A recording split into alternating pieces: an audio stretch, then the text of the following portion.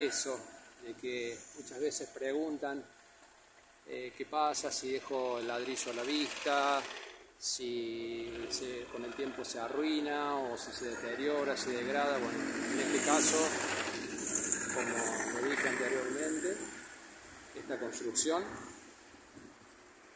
tiene esa cantidad de años, aproximadamente 12, un poco más.